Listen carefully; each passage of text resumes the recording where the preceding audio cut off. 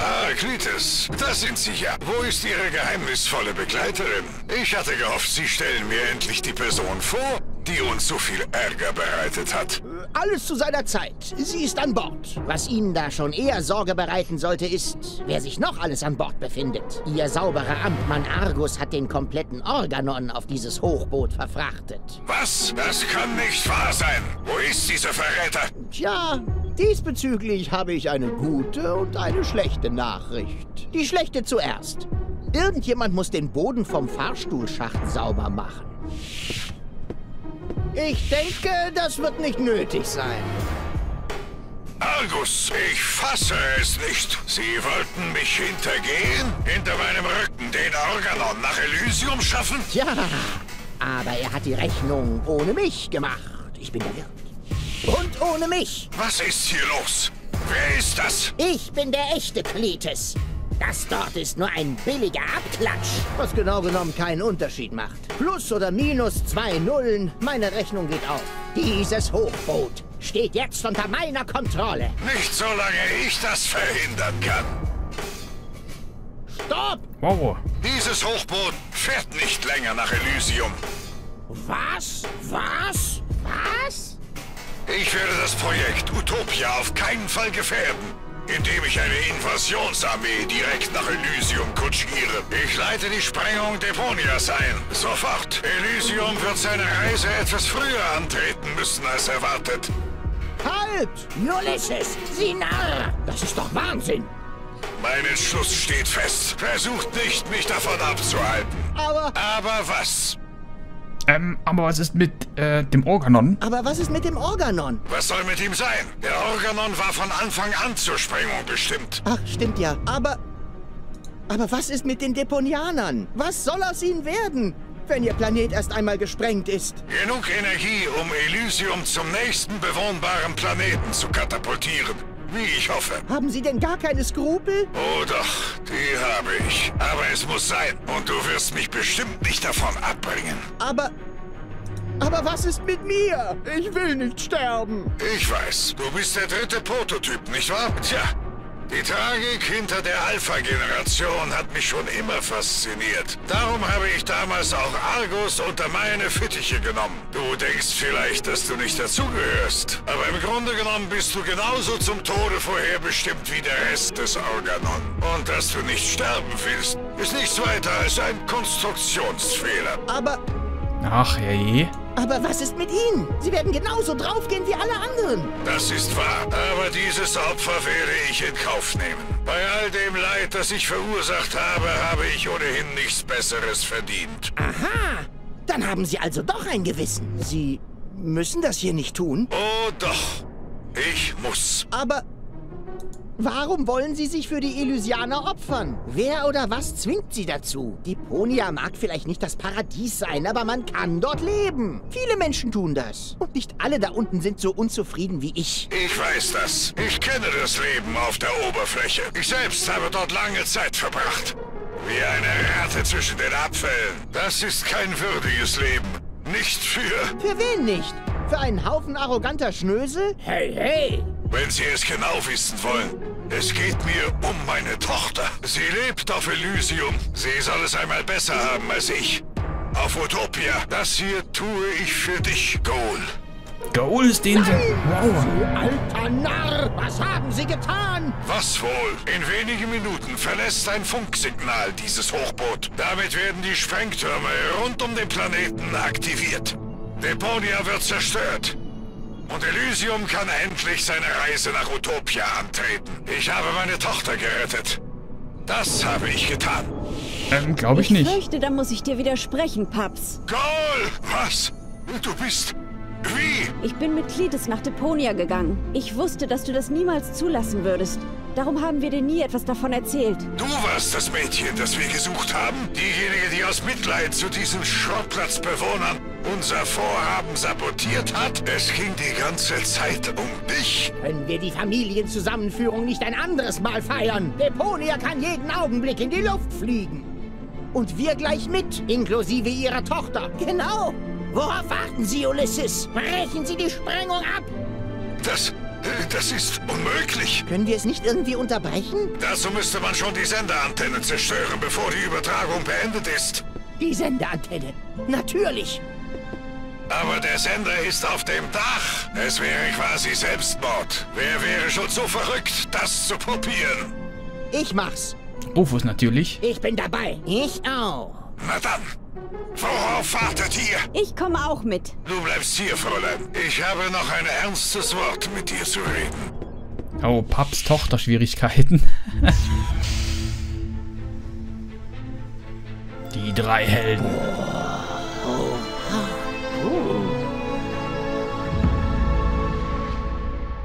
Was ist jetzt? Oh. Ja, ziemlich hoch hier. Kabel. Zum Glück bin ich schwindelfrei. Mal abgesehen davon, dass ich der elendiglichste Etikettenschwindler der Galaxis bin. So, Antenne. Ist es wirklich so schwer, die Dinger stabil hinzubekommen? Hoppla! Knacks. Dass mir das bei anderer Leute Antennen aber auch immer wieder passiert. Argos. Was haben wir noch da? Klites. Wer hätte gedacht, dass wir mal in dieser Besetzung zusammenarbeiten würden? Das stimmt. Wir könnten doch... Psst. Wir könnten doch... Psst. Eieiei. So, was haben wir jetzt? Wir haben hier eine Antenne. Können wir die dem Klites Wir geben? könnten doch... Psst. Nein. Na los, wir haben nicht den ganzen Tag Zeit. Müssen wir hier Sperrwehr... Ach so. Ah. Okay, das machen die jetzt auch und kommen hier rüber. Ne. Wenn das mal alle schaffen. Jawohl. Puh, das war spaßig. Spaßig! Du hohle Nuss hättest uns beinahe umgebracht. Das habe ich schon so oft gehört. Aber noch nie, du hast uns umgebracht. Und da liegt der Unterschied. Das reicht jetzt. Das Maß ist voll. Ab jetzt wirst du dich zurückhalten. Wir übernehmen den Rest. Also, wie gehen wir vor? Du könntest springen? Viel zu weit. Aber vielleicht könntest du den Rotor anhalten. Sei kein Rufus. Die Rotoren halten das Hochboot in Waage. Selbst wenn wir ihn blockieren könnten, das Hochboot würde kippen. Das wäre unser Ende. Verdammt. So, jetzt haben wir hier irgendwo die Antenne, oder? Oder wo? Sender, da ist er doch. Wie da bloß ranzukommen wäre. Hm, Ist das der einzigste hier? Ja. Antenne können wir... Ja, wir haben doch noch zum Glück unsere Antennen. Das ist das einzigste, was wir probieren können. Macht mal Platz. Ich habe einen Plan. Stopp nicht! Paff. Haha, getroffen! Und? Wer ist jetzt hier der Dorftrottel? Du natürlich. Wie sich das gehört. Hä? So. Na guck doch hin! Der Sender ist in den Rotor gefallen und er blinkt fröhlich und wohlbehalten vor sich hin. Hm. Verdammt, er ist immer noch aktiv. Sollen wir denn da jetzt rankommen? Ähm, ja, Klitis springen, würde ich sagen. Da unten ist ein Catwalk. Ich sehe es. Wie stehen wohl unsere Chancen zu springen? Darunter? Du wirst ja wirklich von Minute zu Minute dämlicher. Beantworten Sie die Frage, Cletus. Bitte was? Na, Sie sind doch der Inspektor hier. Dann lassen Sie mal Ihre Einschätzung hören. Wie stehen die Chancen? Oh, wenn man die Drehgeschwindigkeit und den Radius in Betracht zieht, etwa 1 zu 3, dass wir es überleben, ohne vom Rotor zerfetzt zu werden. 1 zu 3 ist doch nicht schlecht, oder? Es kommt drauf an. Es entspricht in etwa deinem Gehirnzellen pro Kopf-Verhältnis. Ah, okay. 1 zu 3 ist doch nicht schlecht, oder? Wenn wir alle drei von unterschiedlichen Positionen ausspringen, kann es einer schaffen. Das ist doch Irrsinn. Hast du einen besseren Vorschlag? Ach, dann ist es entschieden. Wir alle springen auf drei. Oder es werden alle drei gleichzeitig zerfetzt, oder? Es sind noch drei Rotoren. Zwei. Hey, was ist los? Springt ihr gar nicht? Du doch auch nicht. Ihr wolltet wohl mogeln. Was? Ich? Nein.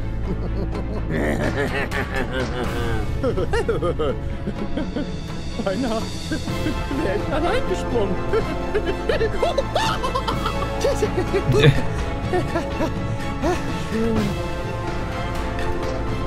Hm. Können wir springen? Argos nochmal. Wollen wir noch mal? Na gut. Aber jetzt nicht wieder schummeln. Auf drei. Eins. Zwei. Ihr wolltet schon wieder. Ach so. Wenn der 2 sagt, müssen wir springen. Wollen wir nochmal? Na gut, Na aber jetzt gut. nicht auf drei. Ja, jetzt nicht mogeln. Eins, zwei. Und 3. Drei. Ach so, ein Arschloch, der bleibt oben stehen.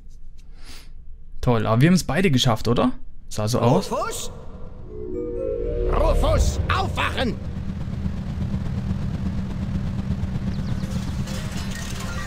Wow.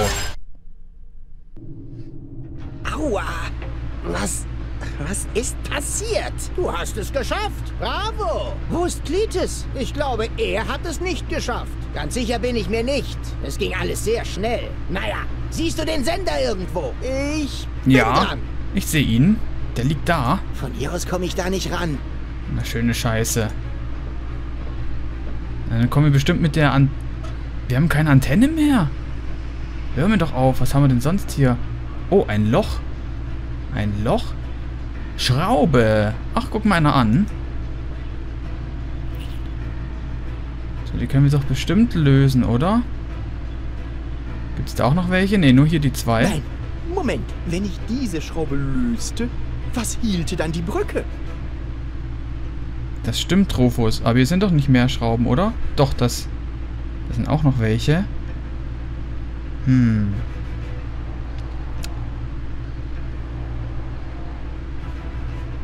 Hm. Tun wir die mal ins Loch da stecken, oder?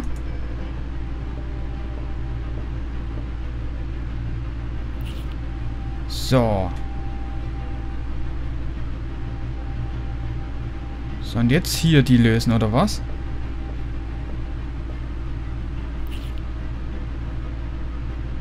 Ähm, oder nicht? Ah, okay, dann müssen wir wahrscheinlich noch die Schrauben hier lösen. Dann ist die Brücke kippbar. Hier zu allen Seiten. Und der Rotor bleibt als Mittelpunkt sozusagen. Ah, guckt mal einer an. Und dann laufen wir mal auf die andere Seite. Jawohl, und der Sender ist zu erreichen. Ich hab ihn. Hörst du, Argus? Ich hab ihn. Sehr gut. Und jetzt kaputt machen. Hä? Was? Ach so, ja klar. Meine leichteste Übung. So. Gut, jetzt müssen wir das Ding kaputt machen. Da ist nur ganz logisch, dass wir die Haufen Schrauben natürlich wieder hier reinstecken müssen. So, und jetzt nach oben zu laufen, damit es halt nicht wieder nach unten kippt. Und hier oben können wir bestimmt mit Hilfe des Rotors den Sender zerstören, nehme ich an. Nein, was tust du? Ich zerstöre den Sender. Was sonst? Du willst doch nicht deine Hand in den Rotor halten, oder? Ich wusste ja, dass du ein Idiot bist. Aber das übertrifft an Dämlichkeit wirklich alles, was ich jemals gehört habe.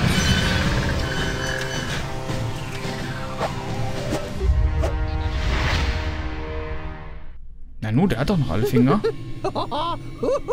Ich habe es geschafft. Der Sender ist kaputt. Der Podia ist gerettet. Ja, ganz große Klasse. Und nur um es noch ein bisschen interessanter zu machen, hast du den verdammten Rotor blockiert. Dann hilf mir hoch, damit wir den Rotor wieder zum Laufen bringen können. Es wäre schön blöd, wenn das Hochboot gerade jetzt auseinanderbräche, wo Elysium ja schon fast in Wurfreichweite ist. Ja, das ist eine Idee. Eine andere wäre, dich da unten verfaulen zu lassen. Das kommt wohl ganz drauf an. Worauf kommt das an? Wie du dich entscheidest. Hilfst du mir bei meinem Putsch gegen den Ältestenrat? Wie bitte? Was ist denn jetzt Wir los? hatten ja nichts putschen. Irgendwas blockiert den Steuerbordrotor. Ist das schlimm? Keine Ahnung, vermisst du Deponia bereits? Wir werden abstürzen? Aber wir sind doch so gut wie da. Man kann bereits die unteren Schleusen erkennen.